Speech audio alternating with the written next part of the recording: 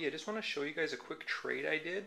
Um, local collector, he's not too much into the newer stuff. I guess he won this on a local auction for a pretty good price and he just wanted some old school stuff from me. He got like a bunch of like Intellivision, ColecoVision and some Atari stuff from me and this is everything I got in trade. Um, one thing that was really surprising about all this stuff was all really clean. I didn't have to do much more than just kind of wipe off the dust. But anyways, I'll show you everything that's here. Um, this is actually a backwards compatible PS3. Don't see these very much anymore. And um, they're usually quite expensive. So this was a really good trade for me in the end. Uh, it works perfectly fine. We got three controllers, all really nice and clean, good condition. I'm guessing this is a wireless headset. All the needed cords. And these games, some random PC Tiger Woods game. We got uh, Raw vs. SmackDown for the PS2.